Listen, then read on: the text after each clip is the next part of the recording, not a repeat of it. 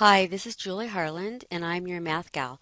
Please visit my website at yourmathgal.com where you could search for any of my videos organized by topic. This is part five of absolute value inequalities, and finally we're going to learn how to solve absolute value inequalities that have greater than or greater than or equal to problems something in this form, like the absolute value of some stuff is greater than some positive number. So we do want k to be a positive number. And so on this video, we solved the following three absolute value inequalities.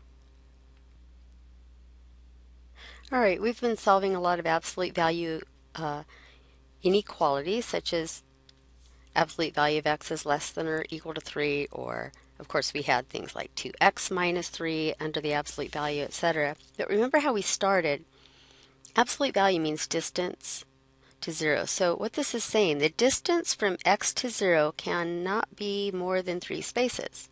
So in other words, if I'm x, right, you know, this is less than 3 spaces from 0, and I can go all the way up to here, or I can go to the left up to 3 spaces.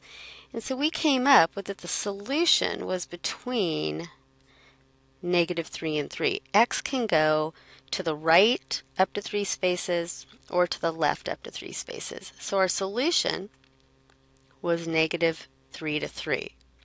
And remember how we did that just algebraically. We took what was in the absolute value sign, which was x, and if it was less than or equal to some positive number, we put less than or equal symbols and we did the negative 3 to positive 3. And that, of course, corresponds to this way of writing it in interval notation. So we've done problems with less than or equal. What about if it was greater than or equal? So let's look at this problem. Absolute value of x is greater than or equal to 3. Well, let's use the same idea. Again, this really means, since x is in the absolute value, the distance from x to 0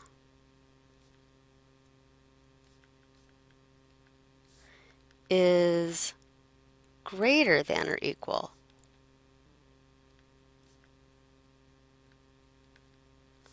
to 3.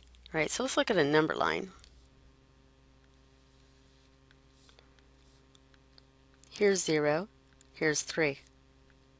Where could x be? x has to be at least three spaces away from 0, or it can be equal to it.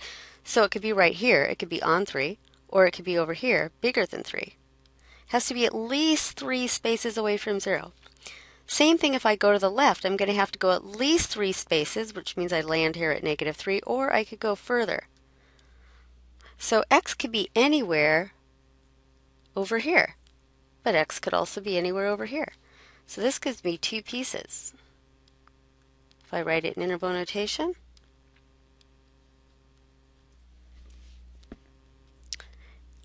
I would have a union.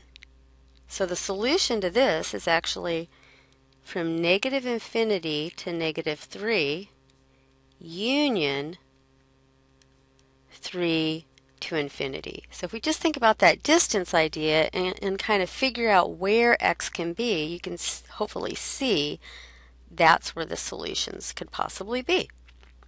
For instance, x could not be 2, because if you put in a 2 for x, this would make that a false statement. But if you put in negative 5 for x, let's just check negative 5. Make sure that's really a solution. So if we put the absolute value, and we're going to plug in negative 5 for x, the question is whether or not this is a true statement. Well, what is the absolute value of negative 5? It's 5. So you could think of it about how where it would be on the number line. And another way of thinking about it is what number could you put in here so that when you take the absolute value, you'll get a number bigger than 3. Well, certainly any number bigger than 3, like 4, 5, 6, or 3.5, or the number 3 itself. But also, you could pick numbers like negative 3.5, because when you take the absolute value, you'll get positive 3.5, and that will be greater than or equal to 3. So that's more of an algebraic reasoning, if you will. Okay, So we've got absolute value of x is greater than or equal to 3. Here's our solution. It's a union because we've got some values of x over here and some values of x over here. We can't squish it between negative 3 and 3 the way we did with less than or equal to. So that's one thing that's very different about greater than or equal. It actually comes out to a union. There's going to be two different pieces when this number is positive. Why don't you go ahead and try this problem.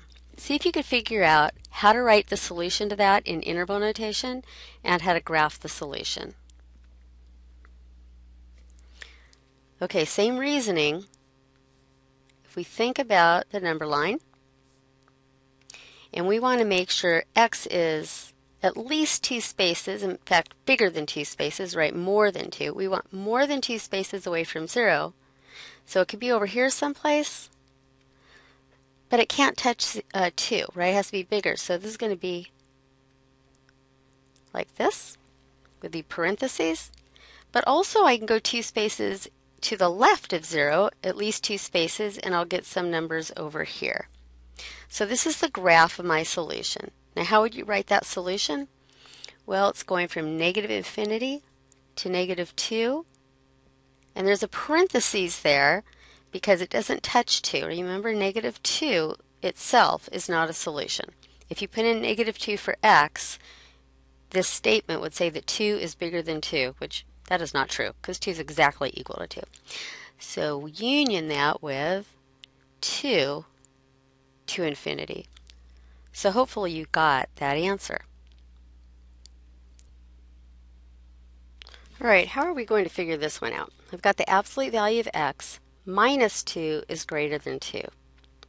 The key to solving any absolute value inequalities or equations, if you only have one absolute value, is to isolate the absolute value. So Notice we've got the absolute value, but then we've got minus 2. Let's get rid of that minus 2 because that's not in the absolute value by adding 2 to both sides. So then this becomes absolute value of x is greater than 4. And now we're back to the same kind of problem we did um, before. So we want to make sure x is at least 4 spaces away from 0. And so I can go to the left or the right. Now, Let's look at the number line again. Here's 0. Here's, whoops, not thinking. Here's 4, and here's negative 4. We want to go at least 4 spaces away from 0. So I've got to be over here, right, for my values of x, or my over here for my values of x. Now, how would I write that in interval notation? That would be in between negative infinity to 4. And we have a parentheses because it doesn't touch 4. Negative 4 is, I'm sorry, because it doesn't touch negative 4, it's not a solution. Union 4 to infinity. Well, for a moment, I'm going to go back and write this in sort of the traditional format with a greater than or equal x. How could I state what this is in terms of x, this little piece to the left?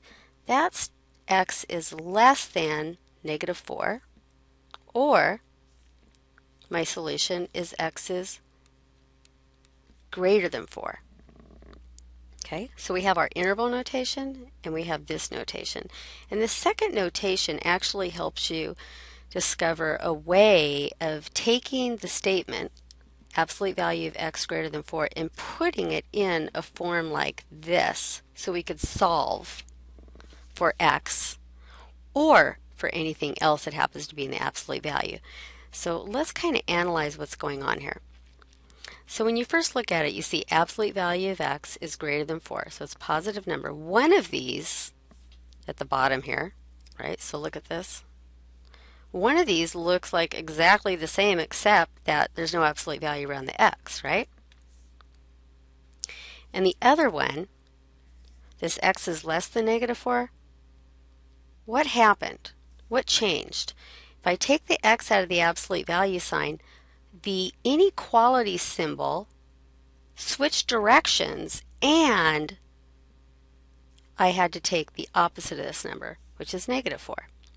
So this is how you could actually generalize how to solve an absolute value problem that has a greater than symbol or a greater than or equal. You take what's in the absolute value out of it. You're going to change this sign and change that sign. So, I'm sorry, change this direction and change that sign. So that'll give me the x less than negative 4. And then I'll write or, and then you just write exactly what you see without the absolute value. There's the x greater than 4. So let me write that out in general.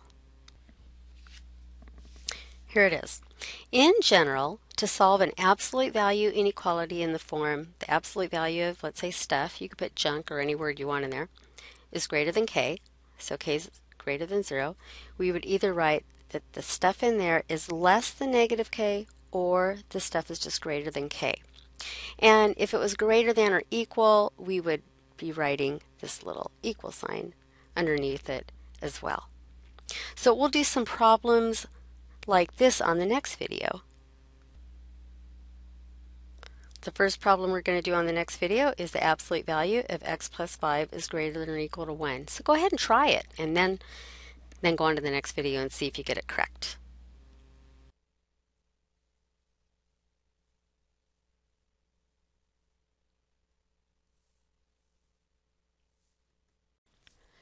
Please visit my website at yourmathgal.com where you can view all of my videos which are organized by topic.